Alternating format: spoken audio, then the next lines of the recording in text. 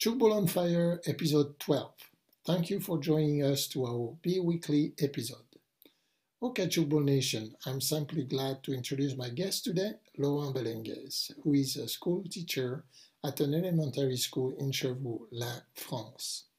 Since 2009, he has been the principal of the school. He succeeded to create a Chukball club in Port de Vaux with some friends as well as youth who started to play the game. When he was younger, about 18 years old, he started as a sport counselor during summer with youth. Later on, he became an instructor to train counselor candidates and taught them fun games to practice with youth. In 2011, he took part to the World Championship in Ferrara, Italy, with a main team. After the FITB General Assembly, he became responsible to promote the game in France and also to revive the French Federation of Chukball. I have been given to Chukball Nation a little overview, Laurent, but take a minute to tell us about yourself. We want to know you, and then, then tell us how you discovered Chukball. Bonjour à tous. Merci euh, Pierre pour, euh, pour, cette invitation. Donc je m'appelle euh, Laurent Bélanguez, j'habite dans, dans l'est de la France, près de, près de Mâcon, avec ma femme et mes deux enfants.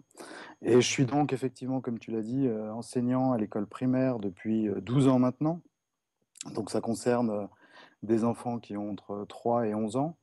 Et c'est dans le cadre de l'école que j'ai découvert le, le chukball, puisque en 2008, alors que j'enseignais euh, près de la frontière suisse, juste de l'autre côté, euh, il y avait parmi les animations qui étaient proposées aux enseignants une animation chukball. Alors le, nom de, ce sport euh, ne me disait absolument rien. Il y avait ball dans le nom, donc je me suis dit que ça devait être, être sympathique. Donc je me suis inscrit et c'est comme ça que j'ai découvert le chukball. Donc le, fait de l'avoir découvert dans le cadre, dans le cadre professionnel, dans le cadre de celui de l'école, c'est sûrement pas anodin sur la vision que j'ai du jeu et sur ce qui me semble important au plan éducatif en particulier. Excellent. What was the appeal of Chukball and why did you want to play it? Ah, la, motivation pour jouer, elle a été, euh, elle a été directe à l'époque, je jouais au handball et je commençais juste à ne plus pouvoir supporter le, les chocs et les coups euh, qu'on reçoit souvent dans ce sport. Donc là, je découvrais un sport qui avait de, nombreuses euh, similitudes sur les, passes, les tirs, les, sauts au-dessus d'une zone interdite. Et euh, donc, j'ai tout de suite été, été, attiré par le, jeu même si euh, je, suis convaincu maintenant qu'il s'agit de deux sports très différents. Very well. What have been your previous sport experiences before discovering Chuball? J'ai deux, deux, types d'expériences en particulier, je pense, qui ont été un petit peu marquantes. D'abord, celle dont je parlais en tant que, joueur de handball. Donc, j'ai joué handball pendant, pendant 20 ans. C'est un sport que, que j'aime toujours beaucoup. Avec des, je passais des très bons moments euh, handball et puis des, des moments où c'était un peu plus, peu plus compliqué, où j'ai vécu des, des, des, dérives un peu de, de ce genre de sport.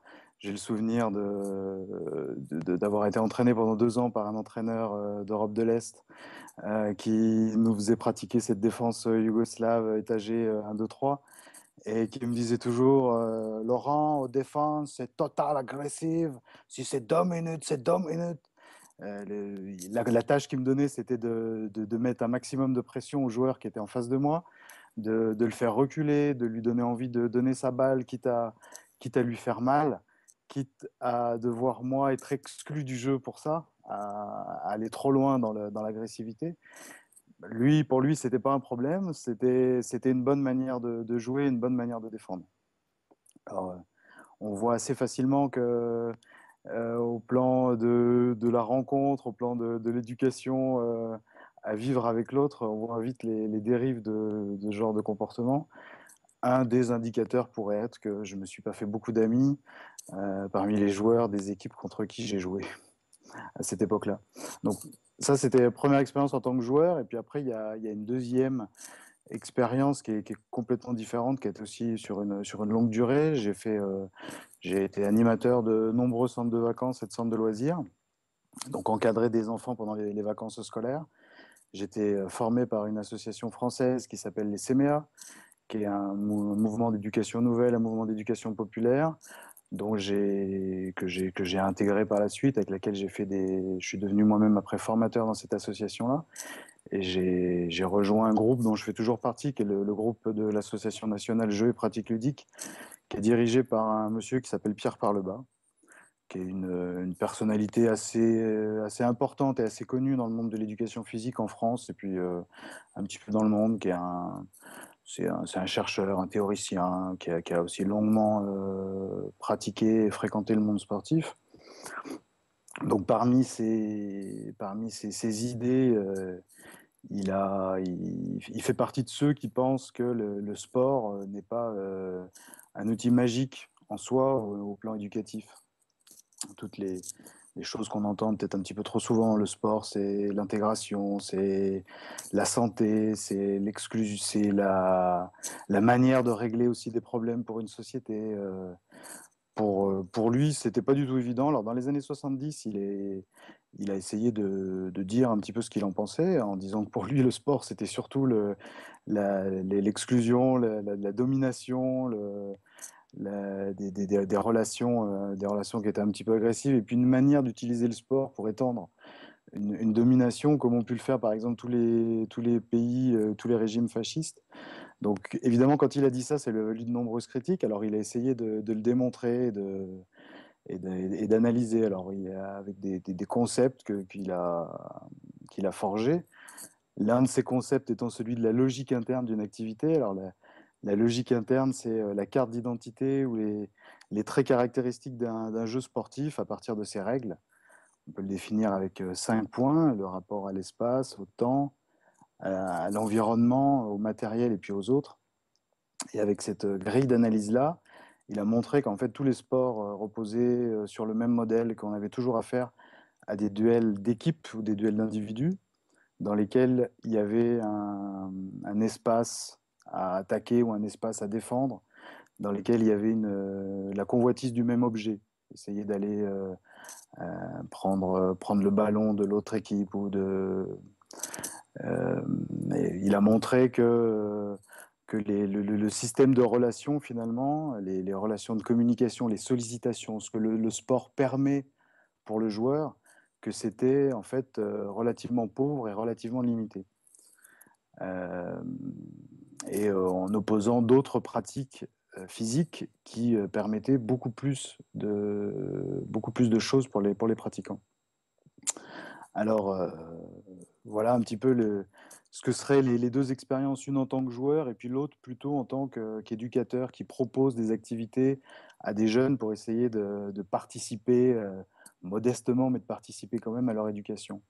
Alors, on voit qu'il y a il y a un petit peu euh, conflit entre ces, deux types d'expériences-là. Alors quand j'ai découvert le, le ball, j'ai immédiatement euh, pris contact avec euh, Pierre pour savoir s'il connaissait, savoir s'il avait déjà écrit des choses sur le sujet. Et il m'a répondu que oui, qu'il connaissait le, le, ball et qu'il avait même bien connu son inventeur, le docteur Brandt, qui en 1966 avait demandé, alors que Pierre était professeur à l'Institut national du sport, il avait demandé à Pierre d'organiser une démonstration pour les étudiants de Pierre, donc à l'époque où le, docteur Brandt euh, tâtonnait dans les règles, le, matériel. Donc il y, a, eu une rencontre entre ces, deux grandes personnalités euh, à cette époque-là. Et, Pierre m'a répondu que effectivement, il, partageait, en, dépit de toutes les critiques que lui peut faire sur les sports, euh, qui partageait euh, l'enthousiasme que je pouvais avoir pour ce sport en disant qu'effectivement, il s'agissait d'un sport original qui présentait de, des, formes de, communication et de relations qui étaient euh, inédites et inconnues dans les autres sports et qui mériteraient d'être beaucoup mieux connues. It's very interesting to hear that, that I didn't know that Pierre Parleba knew Dr. Herman Brandt. Okay, tell us about your motivation to promote the game in France and revive the federation. Moi, j'ai d'abord une motivation de joueur, c'est-à-dire j'aime euh, j'aime le chouk, j'aime le jeu, j'aime les situations de, de, de, passe, de tir, de l'esprit d'équipe qu'il y a dans, ce sport, qui est un des sports euh, au, plan, au plan collectif qui est assez, exceptionnel.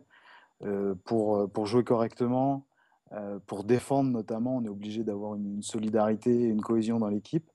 Donc euh, moi, moi, moi j'aime ça et j'aime le, le jeu et euh, j'aime depuis que ça fait pas très longtemps, mais depuis euh, cinq ans maintenant, toutes les rencontres que j'ai pu faire, que ce soit à côté de chez moi ou, à l'autre bout du monde.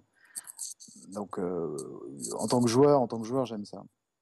Après, je pense que ce que je dis là, n'importe qui qui a une activité qu'il aime pourrait, euh, pourrait en parler dans les mêmes termes. Alors, euh, je, je, pense qu'il faudrait aussi essayer d'ajouter une motivation, peut-être pour parler d'une motivation que je peux avoir aussi au plan en, en, tant qu'éducateur. Le, le, les, sollicitations du choukball, ce qu'il qu permet, alors j'ai commencé à j'en ai parlé juste, juste avant, mais ce qu'il ce qui, ce qu permet, c'est euh, des choses qui sont inconnues dans les autres sports. Alors si on reprend les points de logique interne dont je parlais tout à l'heure, si on regarde, il y, a des, y a, des, choses qui sont tout à fait étonnantes dans le, dans le rapport à l'espace. Euh, on n'a pas de la, notion de territoire, elle disparaît complètement. C'est-à-dire qu'il y, y, a un partage de l'espace de jeu entre les deux équipes puisqu'il n'y a pas de camp attribué. Au niveau du rapport euh, au temps, il y a le, le, joueur qui a la balle a un temps de jeu qui est illimité, il ne peut pas garder la balle plus de 3 secondes. Donc ça, ça va, ça va éliminer notamment ce qui peut être de l'ordre de l'anti-jeu. Euh, sur le, le, rapport à l'environnement, on peut jouer au choukball sur, euh, dans un gymnase, mais on peut aussi jouer au choukball dans l'herbe, sur le sable ou même dans l'eau. On utilise au choukball euh, ce matériel qui est, qui est, si spécifique, qui est le cadre de choukball, qui est un, un objet euh, à la fois étonnant, qui, qui rythme un peu le jeu, qui rythme les changements euh, attaque-défense, mais qui a surtout un immense intérêt de mettre à distance et de, protéger les, corps des joueurs, puisque toutes les, toutes les actions sont orientées, sont dirigées vers le cadre. Et donc, dans le, dans le rapport aux autres, on a une, une suppression, ce que le docteur Brandt a appelé une suppression des directions agressives des motivations, c'est-à-dire qu'il n'y a jamais de recherche d'une action contre quelqu'un. Donc, euh, mon passé de handballeur et de, mettre de, l'agressivité sur un, sur un joueur ne, me sert pas beaucoup là et c'est tant mieux, euh, puisque il n'y a jamais de but de motivation qui est représenté par un joueur. Au, au choukball, les, déplacements individuels sont limités, on n'a pas le droit de, dribbler. Donc ça, ça oblige aussi les joueurs à, jouer ensemble et à devoir réfléchir à une occupation de l'espace qui soit cohérente et à un système de, circulation de balles, de passes, etc.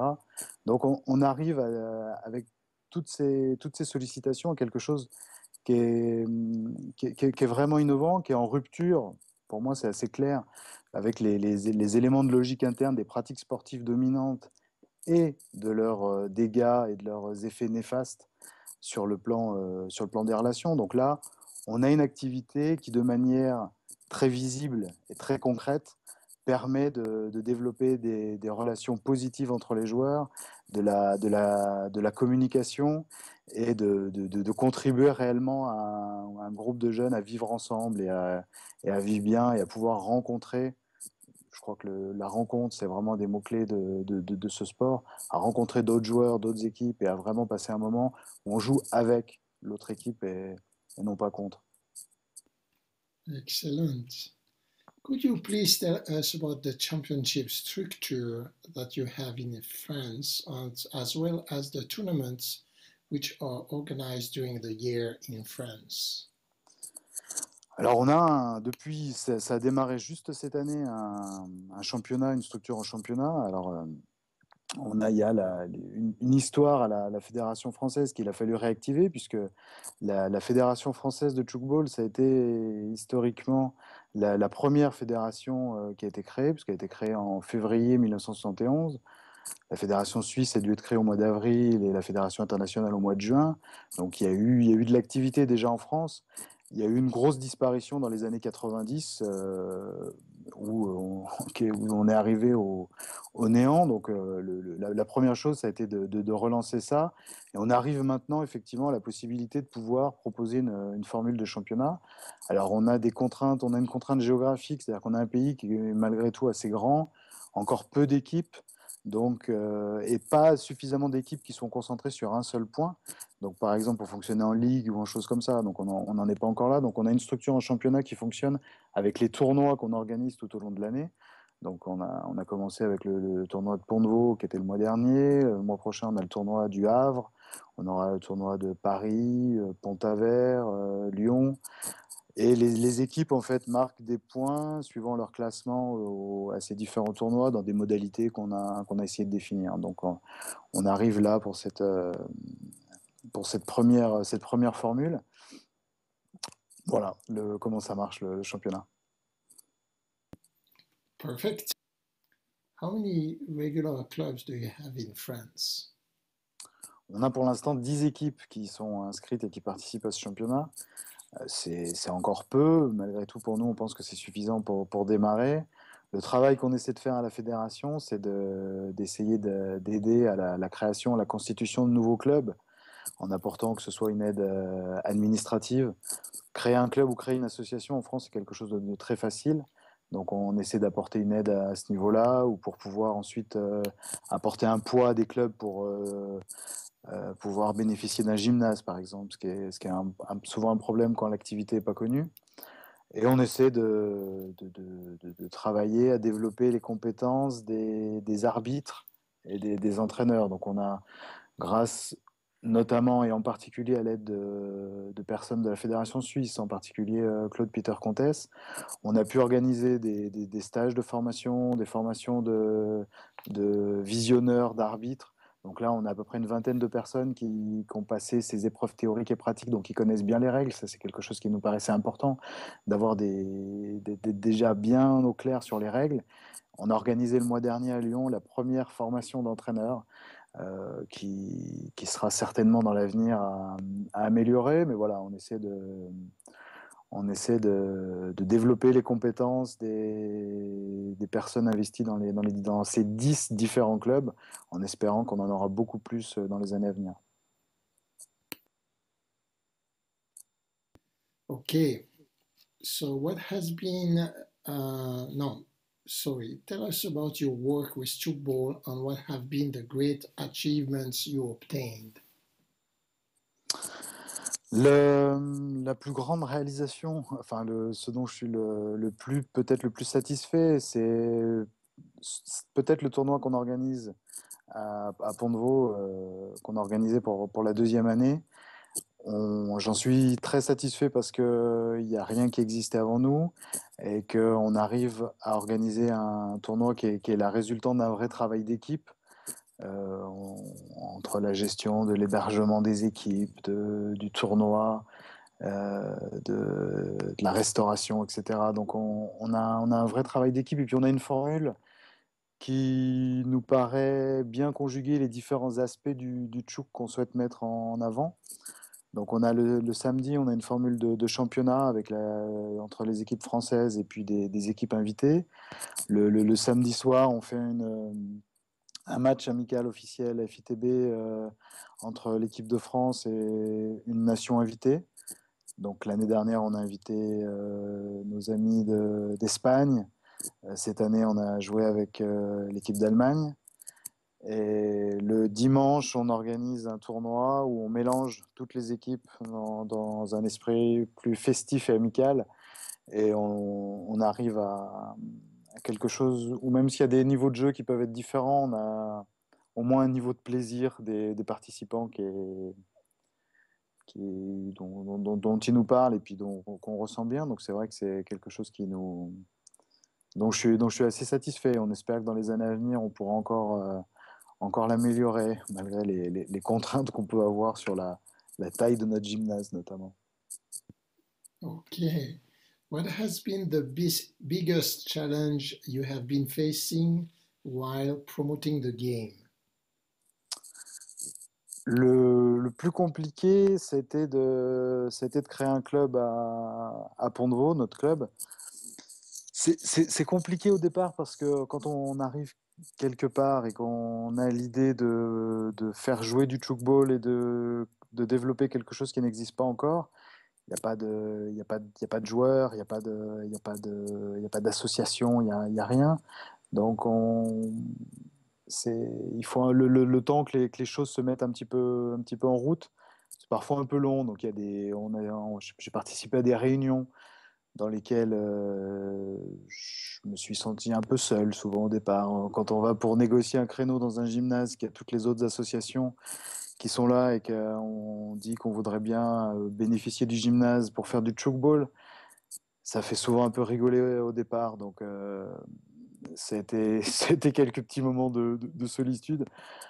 Après, ce qui est intéressant, c'est de voir qu'au fil des années, une fois que l'activité est connue, que les jeunes jouent, que les parents connaissent l'activité, que l'activité est soutenue par les élus, donc connue aussi des autres associations sportives, je me rends compte que les, les gens rigolent plus de la même manière qu'on ils rigolaient avant.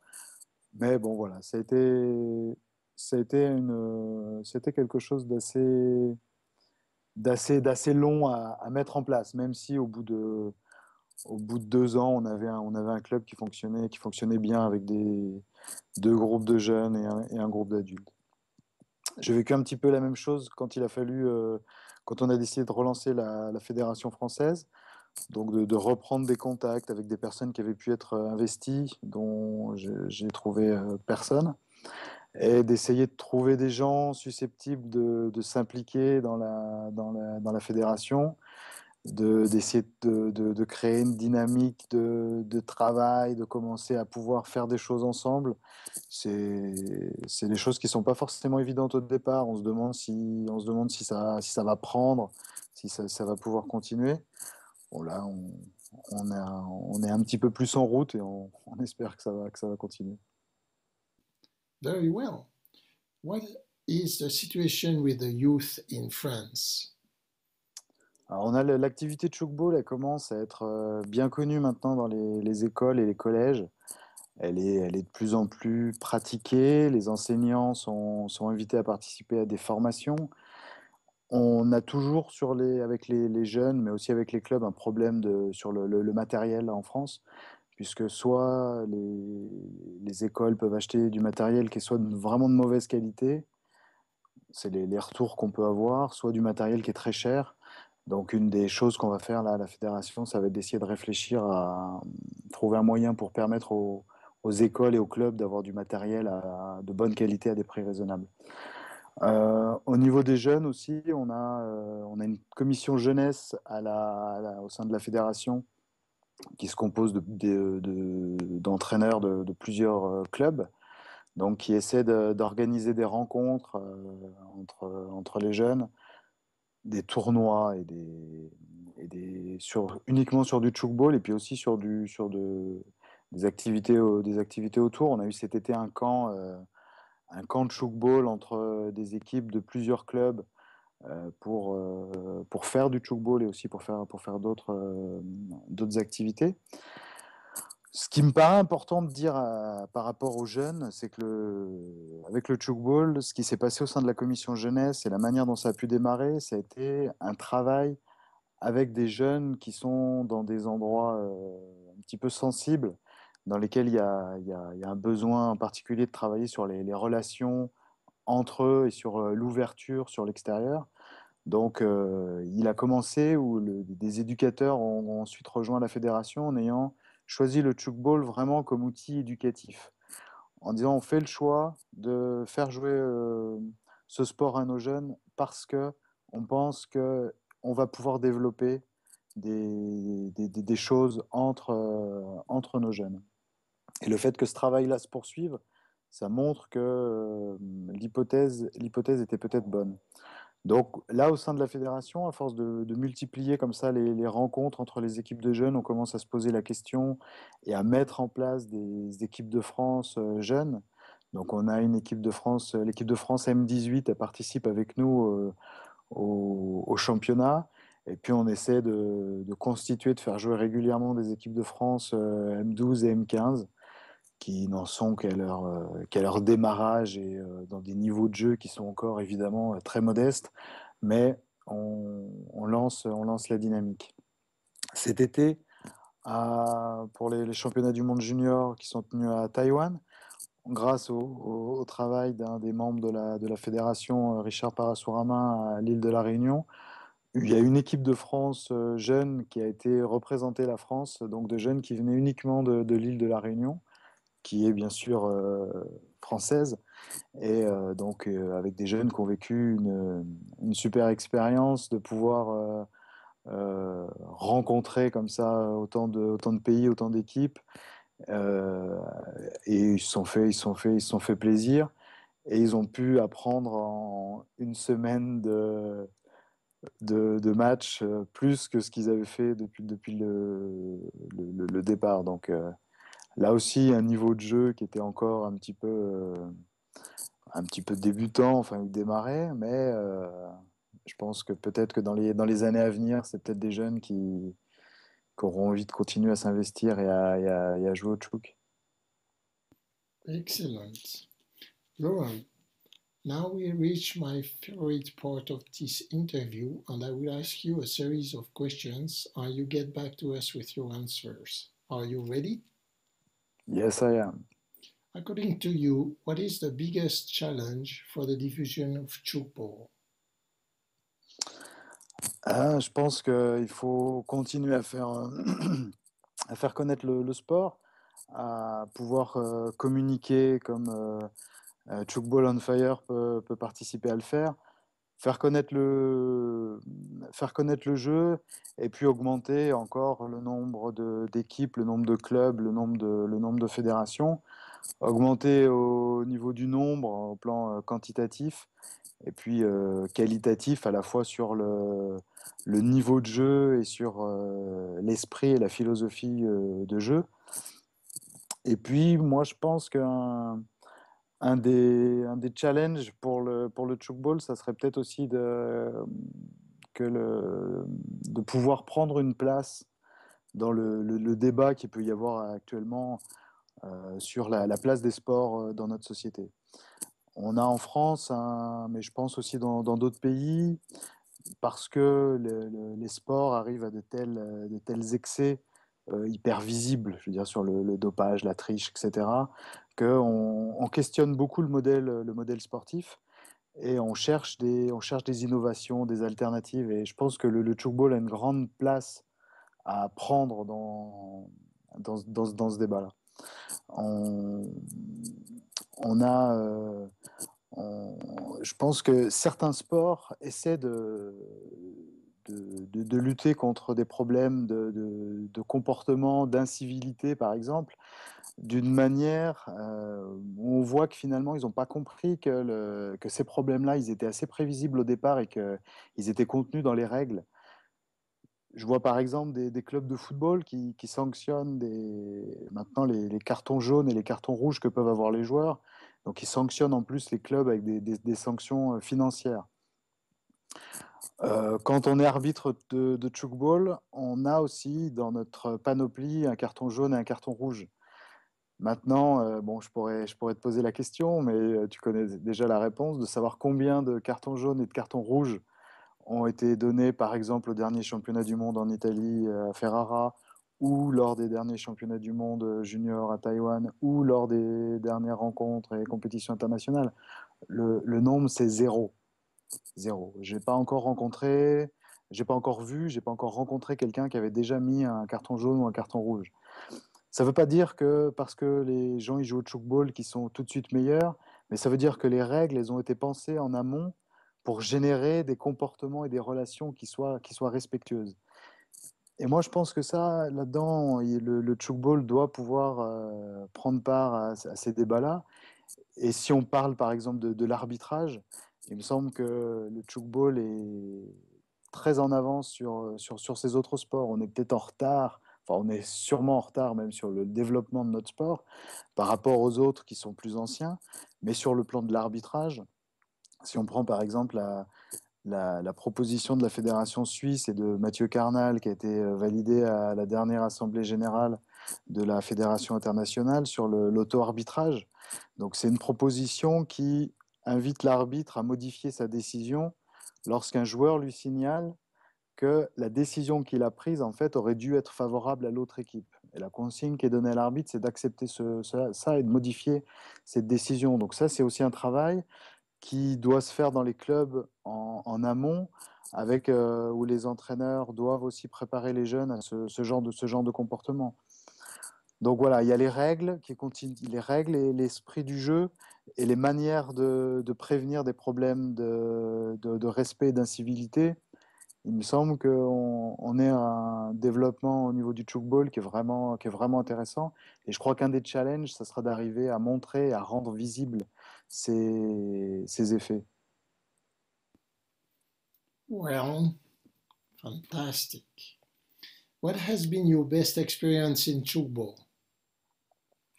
Ah, le, bon, moi, j'ai encore une, je suis encore assez assez jeune dans le tchoukball, donc je peux parler que d'expériences récentes, mais le, plus beau, ça a été euh, les championnats du monde en Italie euh, en 2011. Pour nous, ça a été la, rencontre avec la planète tchoukball. On essayait de démarrer notre club à Pont de Vaux et puis on, on, jouait avec les, copains de Paris, mais sinon, on, on, se sentait aussi un petit peu seul. Et là, d'un seul coup, on a découvert euh, tous les pays qui pouvaient jouer. Et le, niveau de jeu, la qualité de ce que peut être le, chukball à, un haut niveau, on a découvert et pris ça en, pleine tête et ça a été vraiment, euh, vraiment excellent. On a vécu aussi euh, de, plein fouet, de manière réelle et visible, ce que peut, ce que peut raconter euh, la charte du, du chukball. On, joue notre premier match au championnat du monde contre, contre la Suisse, une équipe équipe assez fantastique. Et nous, on est une équipe, on arrive, euh, on, connaît, j'ai emmené des joueurs qui, connaissaient à peine, les, à peine les règles et on a vécu, on a passé un match où on s'est fait, on a, on a, on a perdu assez lourdement, ça c'est, certain, mais on a été euh, respecté, on a joué, euh, on a joué avec. C'est-à-dire que là encore, l'écart de niveau qu'il pouvait y avoir, si on transfère euh, un sport comme le football, euh, l'équipe la plus faible, elle n'aura jamais la balle. Au handball, l'équipe ne pourra jamais s'approcher du but pour pouvoir tirer, alors que nous, on a pu jouer, faire notre jeu, faire nos passes, faire nos tirs, qui ne posaient pas forcément tous les problèmes qu'on aurait voulu, mais, mais voilà, on a pu. donc, c'est ouais, Ferrara, ça a, été, ça a été vraiment excellent. Et puis, avec les rencontres de, des, arbitres, les joueurs et puis toutes les, personnes de la, de la FITB, rencontrer euh, euh, Chiara, Jeff, Chris, euh, Pierre-Alain ou Julio, enfin tous ces gens qui, avec qui depuis on, on, est resté en contact et on continue à essayer de, de, de développer le sport. Et ouais, été, vraiment une très belle expérience. Mm-hmm. Excellent. What would be the advice you would be given to someone who wants to promote the game in a community or country? Le, conseil ou le, premier conseil, c'est de ne pas rester isolé. C'est de, si on, si on cherche à développer euh, le sport dans, son pays et qu'il n'y a, rien, c'est de, s'appuyer sur les, les, contacts, que ce soit euh, à la fédération internationale ou, auprès des autres pays. Je crois que vraiment l'essentiel de notre, de notre sport, il est dans les rencontres. Donc, c'est de ne pas hésiter à, à solliciter et à interpeller euh, ces personnes-là. Le, conseil, c'est de, ce serait de s'appuyer sur une équipe aussi, de pouvoir euh, euh, essayer de, faire des choses ensemble, que ce soit une équipe sur le terrain ou une équipe en dehors pour pouvoir, pour pouvoir coordonner des choses. Et puis de, jouer. Je crois qu'il faut aussi jouer et, prendre du plaisir, jouer pour comprendre le jeu et puis pour, euh, pour, pour y prendre du plaisir et pour avoir envie de, de, continuer. Ok, thank you for that. Where do you see Chukball in five years from now in your country and around the world? Ah, en France, euh, j'aimerais bien qu'on puisse avoir euh, dans cinq ans une équipe, euh, une équipe féminine, une équipe nationale féminine, ce qu'on n'a pas encore, et puis d'avoir de plus en plus de, femmes qui jouent, et puis d'avoir des, équipes nationales jeunes et en, encore plus de clubs. Si on pouvait avoir une vingtaine de clubs dans cinq ans, ça serait, vraiment excellent. Au, niveau, au niveau de l'Europe, je pense que dans cinq ans, on devrait avoir une fédération européenne. On est en train d'essayer de, de, mettre, ça sur pied. Donc j'espère que d'ici cinq ans, on pourra avoir une fédération européenne active.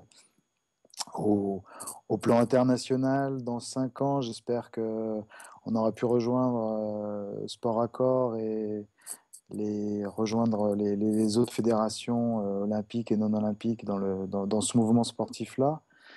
Et je pense que c'est en bonne voie, que la, FITB fait vraiment un super travail là-dessus euh, avec les, personnes dont j'ai parlé tout à l'heure. Et euh, je pense que le, le, Chukball va continuer à, va continuer à se développer euh, qu'il y aura dans cinq ans plus de clubs, plus de, plus de pays, plus de fédérations euh, qui seront membres de la, de la fédération internationale et que ça sera, que ça sera une bonne chose.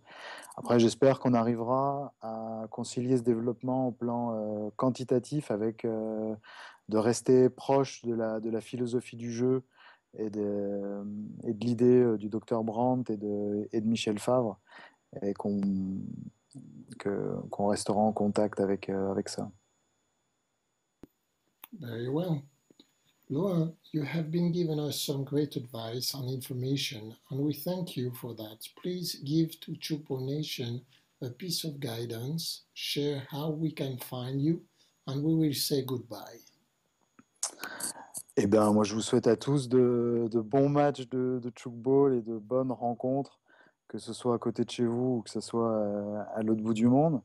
Alors, pour euh, contacter euh, la fédération, vous pouvez aller sur le, site www.chukball-france.org ou sur le Facebook, sur la page Facebook de la, fédération, par email à fédération at chukball-france.org ou le, le, mon mail à laurent.belanguez at chukball-france.org. Euh, voilà, bon, bon match à tous. Well, the listener could find all the links and resources you mentioned today on uh, slash Laurent slash Thank you for being so generous with your time, Laurent, and sharing your experience and advice. Chukball Nation, Chukball Nation salutes you, and we will catch you along the road. Bye. See you soon.